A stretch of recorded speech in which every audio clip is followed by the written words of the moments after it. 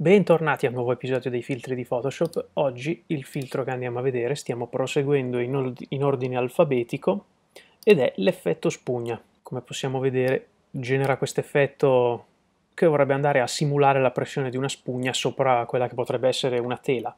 Come sempre andiamo a portare tutto a zero così ci rendiamo conto delle modifiche che possiamo fare e se lo portiamo a zero vediamo che l'effetto è decisamente più lieve. Ora, noi qui abbiamo una dimensione pennello che ovviamente va a aumentare quelle che sono, quelle che sono le dimensioni dei tratti. Abbiamo una definizione che quindi porta fuori maggiormente i tratti di questa, di questa spugna che è stata applicata e abbiamo una sfumatura che agisce sulla definizione dell'effetto spugna.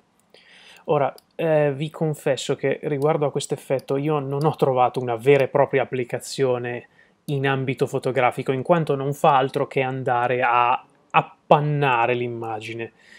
Per cui non sto nemmeno a applicarla o a provare a trovargli una ragione d'esistere, perché secondo me in ambito fotografico non ne ha davvero può servire qualora si voglia provare a realizzare un effetto vetro sfumato, qualora si voglia provare a simulare la visione attraverso un vetro smerigliato, cose di questo tipo.